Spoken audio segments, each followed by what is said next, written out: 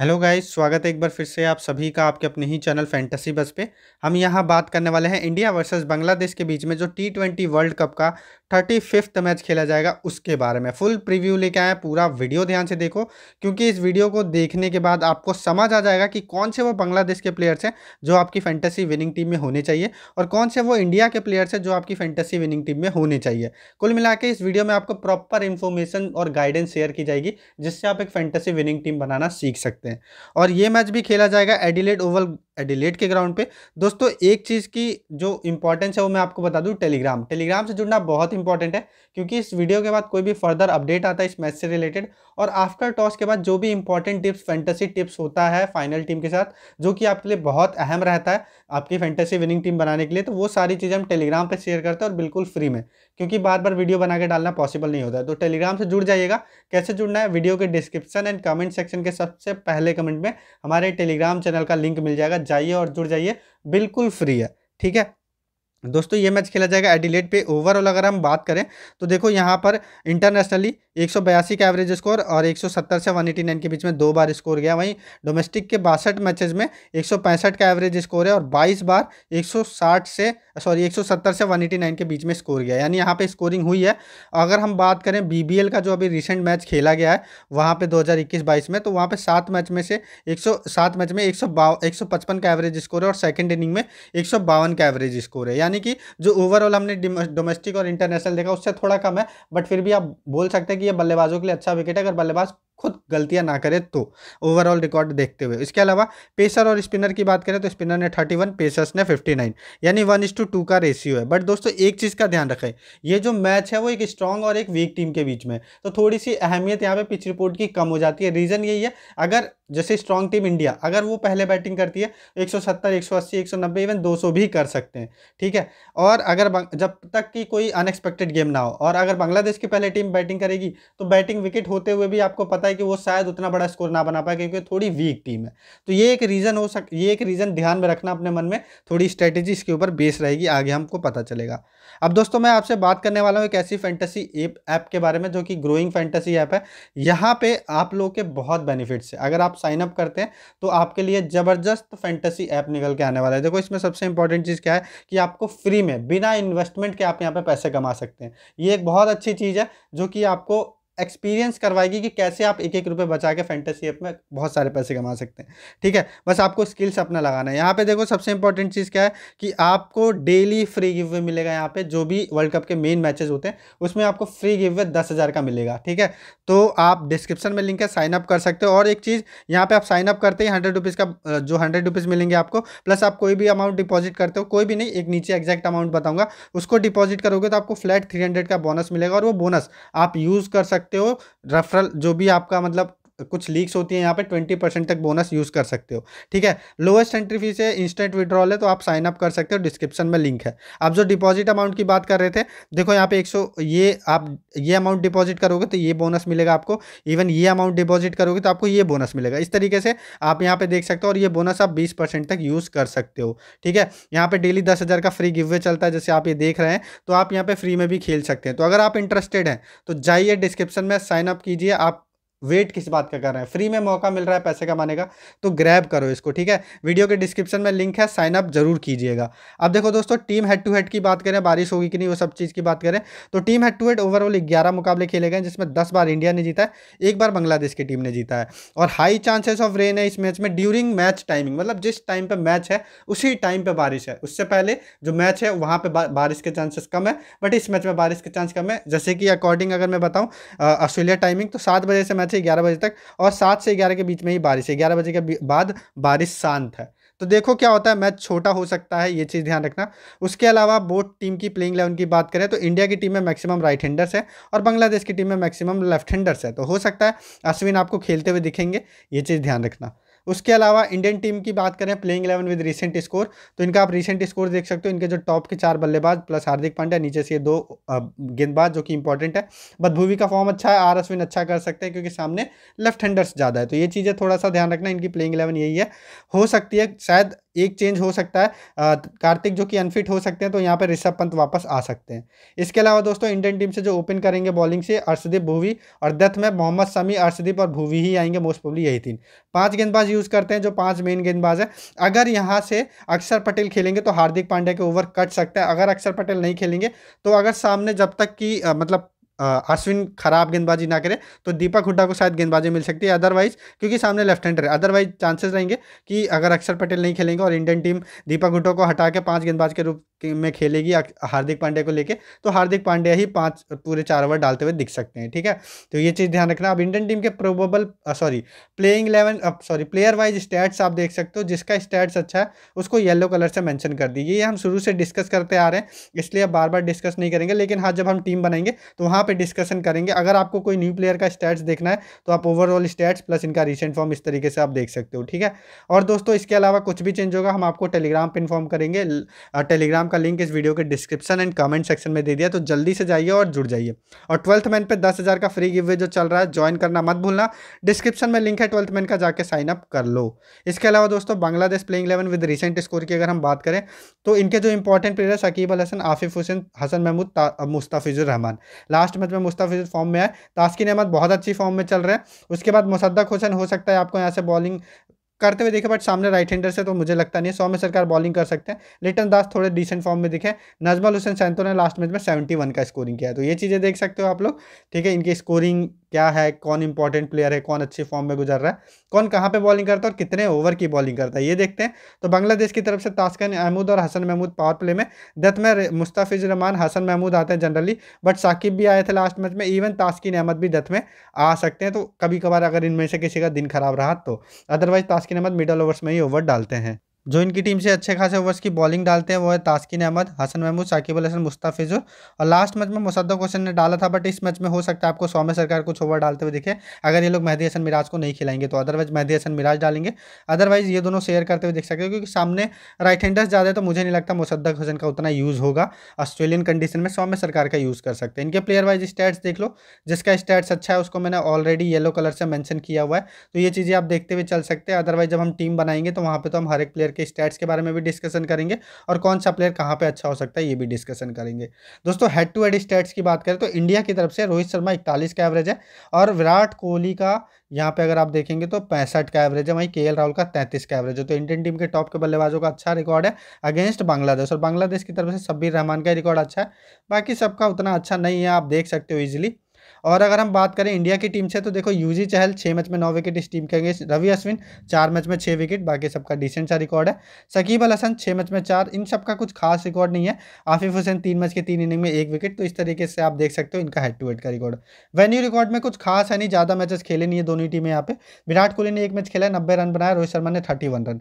Shakib Al Hasan ने एक match खेला इस ग्राउंड पर छियालीस रन बनाए। ये इस ग्राउंड पर मैचेस खेले उसके अलावा अगर हम बात करें इंडिया की तरफ़ से तो देखो हार्दिक पांडे ने दो विकेट लिया और जो है आर अश्विन ने दो विकेट लिया इस ग्राउंड पर बाकी सकीब अल हसन ने एक मैच में दो विकेट लिया हुआ है। तो ये तो वेन्यू स्टेट्स हो गया। प्लेयर बैटल की बात करें, इसमें भी कुछ खास नहीं है, लेकिन फिर भी एक दो प्लेयर बैटल आपको देखने मिलेगा। रोहित शर्मा ज़रूर आउट हुए दो बार, मुस्ताफिजुर से सकीब अल हसन से, बट रन भी उतने ही ज़्यादा किए हैं। इवन यहाँ पे अगर आप देखेंगे तो के राहुल तास्किन अहमद से टेस्ट मैच में बारह गेंदों में नौ रन बनाकर दो बार आउट हुए हैं। तो ये थोड़ा सा एक बैटल देखने मिलेगा। इसके बाद विराट कोहली, ये सब एक एक बार आउट हुए ज़्यादा कुछ है नहीं। दिनेश कार्तिक सकीब अल हसन से पच्चीस गेंदों में दो बार आउट हुए ऐसे ही अगर हम बात करें बांग्लादेश के प्लेयर्स की तो सकीब अल हसन को देखो रवि अश्विन ने अच्छा परेशान किया हुआ है। बी कुमार ने बारह गेंदों में चार बार आउट किया है। तो इनसे बचना पड़ेगा सकीब अल हसन को। उसके बाद मुस्ताफिजुर को एक बार आउट किया है। सॉरी सब्बीर रहमान को, हार्दिक पांडे ने एक बार आउट किया और सौम्य सरकार को यूजी चहल ने बारह गेंदों में दो बार आउट किया लिटन दास चहल से एक बार आउट हुए तो ये चीज़ है प्लेयर बैटल में। अब हम चलते हैं दोस्तों टीम सेलेक्शन की तरफ़। दोस्तों, यहाँ पे ध्यान देना, हम बात करेंगे ओनली थ्री और फोर मेंबर्स की टीम की। बाकी आपको अगर ग्रैंडली की टीम वगैरह देखनी है तो उसके टिप्स यहाँ पे मैं आपको दे दूँगा, वो टीम आपको खुद बनानी पड़ती है। स्टार्ट करेंगे विकेट कीपिंग सेक्शन से, Litton Das must pick small league में, क्योंकि देखो दिनेश कार्तिक की बल्लेबाजी काफ़ी नीचे है और अगर ऋषभ पंत खेलते हैं तो मोस्ट प्रोबली इनकी बल्लेबाजी भी नीचे रहेगी। अगर ये ओपन करेंगे तो मैं आपको बता दूँगा, वैसे मुझे नहीं लगता कि इस अहम मैच में जो इंडियन टीम कोई एक्सपेरिमेंट करेगी तो शायद से ये नीचे ही खेलेंगे, अगर दिनेश कार्तिक नहीं खेलते हैं तो।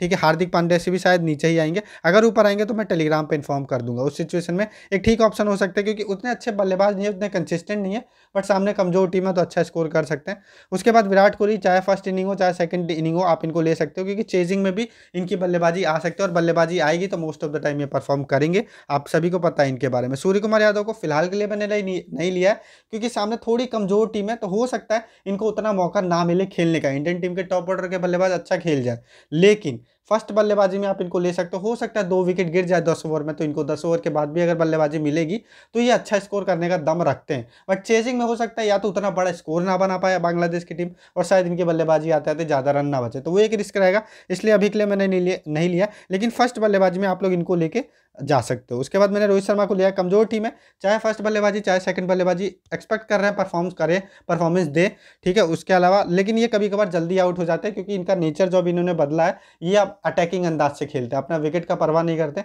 इसलिए कभी भी जल्दी आउट हो सकते हैं। तो एक रिस्क तो बना रहेगा बट सामने कमज़ोर टीम है तो मैं एक्सपेक्ट कर रहा हूँ अच्छा स्कोर करें, खास करके चेजिंग में।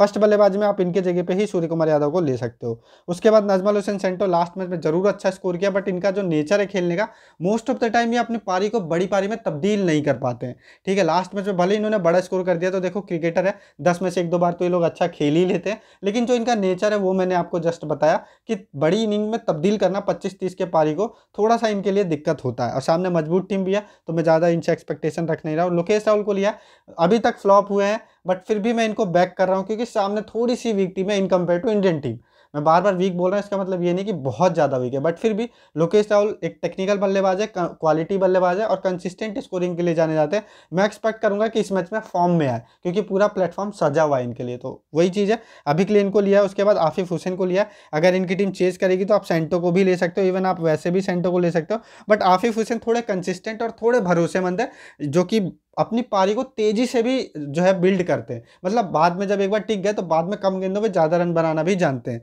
और स्टार्टिंग से हिटिंग करना भी जानते हैं। तो इसलिए इनको लिया हुआ है। चेजिंग में आप इनको ले सकते हो बट मैं कहूँगा आफिफ हुसैन थोड़े बेटर मतलब सेफ़ उसके अलावा सौम्य सरकार बॉलिंग करते हुए दिख सकते हैं, अगर महदी हसन मिराज नहीं खेले तो। और last combination last playing eleven जो रहा था इनका, उसके, उसी के साथ जाएँगे तो हो सकता है सौम्य सरकार आपको कुछ ओवर बॉलिंग करते हुए दिखेंगे प्लस बैटिंग भी। तो आप उस सिचुएशन में आफिफ आफिफ हुसैन की जगह इनको लेके जा सकते हो। उसके अलावा नीचे कोई उतना अच्छा ऑप्शन है नहीं। यहाँ से अल हसन मस्टफिक इनकी टीम के बेस्ट ऑलराउंडर है।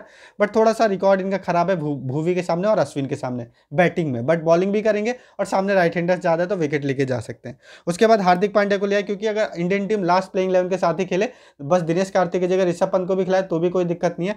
तब ये आपको पूरे चार ओवर डालते हुए दिखेंगे, दिख सकते हैं दो तीन ओवर डालते हुए दिख सकते हैं। क्योंकि उस समय अक्षर पटेल नहीं खेल रहा और दीपक हुड्डा का ये लोग यूज़ कर नहीं रहे। अगर दीपक हुड्डा का यूज़ होगा तो शायद एक आध ओवर डालेंगे, क्योंकि सामने लेफ़्ट हैंडर से तो हार्दिक पांडे भी बॉलिंग डालेंगे। इसलिए इनको लिया फ़र्स्ट इनिंग में बल्लेबाजी आ सकती है इनकी, ये चीज़ ध्यान रखना। तो इसलिए अभी के लिए मैंने इनको लिया हुआ है। मुसद्दक हुसैन एक अच्छे पिक हो सकते हैं, अच्छे हिटर है प्लस बॉलिंग भी कर सकते हैं, लेकिन देखो सामने राइट हैंडर ज़्यादा है तो हो सकता है इनके ओवर कट के सौ में सरकार को मिल जाए, और बैटिंग काफ़ी नीचे है हिटिंग कर लेते हैं, लेकिन वही है कि कंसिस्टेंट हिटिंग कभी कभार करने के चक्कर कंसिस्टेंट हिटिंग नहीं करते कभी कभार हिटिंग करने के चक्कर में विकेट फेंक देते हैं, जल्दी। इसलिए इनको नहीं लिया। अक्षर पटेल अगर खेलेंगे तो आप ले सकते हो, क्योंकि सामने कमज़ोर टीम है, गुच्छे में विकेट आ सकते हैं बट लॉजिकली देखो तो शायद इनको नहीं खेलना चाहिए, सामने लेफ़्ट हैंडर ज़्यादा है और ये लेफ़्ट आर्म ऑर्थोडॉक्स है। उसके अलावा नीचे कोई और उतना अच्छा ऑप्शन है नहीं जो कि खेल यहाँ पे देखो, अर्शदीप सिंह मस्ट पिक रहेंगे क्योंकि विकेट टेकिंग बॉलर है, एक कंप्लीट बॉलर है फ़र्स्ट इनिंग में बॉलिंग आए तो कप्तानी मटेरियल भी रहेंगे। तास्किन अहमद, देखो, ये आपके लिए इनफॉर्म बॉलर है और हो सकता है आपके लिए एक अच्छे पिक हो जाए, खास करके सेकंड इनिंग में, क्योंकि इनको ये कंडीशन सूट कर रहा है ऑस्ट्रेलियन कंडीशन क्योंकि इनके पास अच्छी खासी पेस है और इनको बाउंस भी मिलता है, अगर लाइन लेंथ अच्छी रही तो ये आपको फिर से विकेट निकालते हुए दिख सकते हैं। बट देखो अगर इनके पास जो फॉर्म है, वो उसी की वजह से लाइन लेंथ भी है। और सामने थोड़ी मज़बूत टीम है तो मैं ज़्यादा एक्सपेक्टेशन इनसे नहीं रख रहा हूँ, ज़्यादा से ज़्यादा एक विकेट ठीक है? उससे ज़्यादा मैं एक्सपेक्टेशन नहीं रख रहा हूँ। अगर आप ले रहे हैं तो आप ले सकते हो बट जब भी टू टू पेस्ट विकेट आता है या फिर सोलह फिर स्लोइस नेचर का विकेट होता है या सामने थोड़ी मज़बूत टीम होती है तो इनका थोड़ा बत्तीगुल हो जाता है। मैंने नहीं लिया हुआ है। उसके बाद Mohammed Shami wicket taking bowler क्योंकि इंडियन टीम के सारे बॉलर को कवर करना है तो इनको लिया हुआ है। प्लस भूवी भूवी भी देखो उतने विकेट टेकिंग नहीं है जितने अर्शदीप और मोहम्मद शमी है बट सामने कमज़ोर टीम है फॉर्म अच्छा है और इनका रिकॉर्ड भी अच्छा है बांग्लादेश के अगेंस्ट तो मैंने भूवी को लिया हुआ है। उसके बाद मिस्ता फिजर को लिया है। मिस्ता फिजर एक्सपीरियंस गेंदबाज है जो है आईपीएल वगैरह भी खेल चुके हैं। साथ ही में इनको एक्सपीरियंस है दत्त में आते हैं। आप इनके जगह तास्किन को ले सकते हो सेकंड इनिंग में, क्योंकि उस समय शायद दत्त का उतना काम ना रहा है। हो सकता है इंडियन टीम ईजी चेस कर जाए तो उस सिचुएशन में आप तास्किन को ले सकते हो या किसी अदर प्लेयर को ले सकते हो। मैंने इनको लिया। हसन महमूद थोड़ा फॉर्म गड़बड़ा है तो wicket taking bowler but run leak किए हैं रिसेंट मैचेज में और हो सकता है जैसे ऑस्ट्रेलिया के अगेंस्ट बैरी मैकर्थी ने आयरलैंड वाले मैच में ले लिया था विकेट तो इनको भी मिल जाए बट मेगा जीएल और मिनी जेल में ट्राई करना स्मॉल लीग में थोड़ा रिस्की रहेगा, क्योंकि फॉर्म नहीं है। नीचे अश्विन सेकंड इनिंग में अगर इंडियन टीम की बॉलिंग आए तो आप भूवी के जगह पे इनको ले सकते हो। आ, क्योंकि देखो सेकंड ये ऑफ़ स्पिनर और सामने वाली टीम में आ, जो है लेफ़्ट हैंडर्स ज़्यादा हैं। ठीक है तो उसके अकॉर्डिंग आप इनको ले सकते हो। अभी के लिए मैंने भूवी को लिया। नीचे यूजी चहल अगर खेलेंगे तो मस्तब पिक रहेंगे। विकेट टेकिंग बॉलर है तो ये चीज़ ध्यान रखना। अभी के लिए वो खेल नहीं रहे और नीचे और कोई ऑप्शन भी नहीं खेल रहा तो ज़्यादा बात करने का मतलब है नहीं। दोस्तों यहाँ पे जो टीम बन रही है कुछ इस प्रकार से जहाँ पे कप्तानी मैंने अर्षदीप को वाइस कप्तानी विराट कोहली को बनाई है। चेजिंग में देखते हुए मैंने बनाया है। एक चीज़ और ध्यान देना कि आप लोग जो है साकिब को भी कप्तानी, वाइस कप्तानी के राहुल और रोहित शर्मा को भी कर सकते हो। ये स्मॉल लीग के सेफ़ कैप्टन, वाइस कैप्टन है। ग्रैंड लीग में किसी भी इंडियन बॉलर को जो पाँच बॉलर खेले, वो एस के यादव मतलब Surya Kumar Yadav first bowling, first batting में, हार्दिक पांड्या भी फ़र्स्ट बैटिंग में। आप इनको कर सकते हो, क्योंकि हार्दिक पांड्या की उस समय बैटिंग भी आ सकती है। और ट्रंप पिक आपके लिए कौन हो सकते हैं? जो हाई रिस्क, हाई रिवॉर्ड हो जाए, के राहुल, जिसको बहुत कम लोग लेंगे। आर अश्विन दीपक हुडा अगर खेलेंगे तो अदरवाइज़ इनके जगह पे जो भी खेले, अक्षर पटेल वगैरह, वो सौम्य सरकार, हसन महमूद और मुसद्दक हुसैन। इन सब का रीज़न मैंने आपको वीडियो में दिया है, कब, क्यों, कैसे बेहतर हो सकते हैं ये लोग। तो जो थोड़ा रिस्क टेकर है इनको स्मॉल लीग में भी ट्राई कर सकते हैं। अदरवाइज़ आप इनको ग्रैंड लीग में रोटेशन के रूप में तो ट्राई कर ही लीजिएगा। अब दोस्तों, ये टीम मैंने फुल मैच को देखते हुए बनाया कि फुल मैच होगा। अगर ओवर कटेंगे तो उसके अकॉर्डिंग मैच में ओवर्स कम होंगे तो हम उस प्लेयर्स को लेंगे जो हिटिंग में प्रमोट हो सकते हैं। तो वो सारी चीज़ें फाइनल अपडेट के साथ आपको टेलीग्राम पर इन्फॉर्म कर दिया जाएगा। तो टेलीग्राम का लिंक आपको इस वीडियो के डिस्क्रिप्शन एंड कमेंट सेक्शन में दे दिया गया। तो जल्दी से जाइए और जुड़ जाइए, बिल्कुल फ्री है, बहुत इंपॉर्टेंट है। और इस वीडियो से आपने कुछ भी सीखा हो, कुछ भी नया सीखा हो तो एक लाइक ज़रूर कर देना। चैनल पर नया हो तो सब्सक्राइब कर देना दोस्तों। मिलते हैं अगली वीडियो में, तब तक के लिए जय हिंद।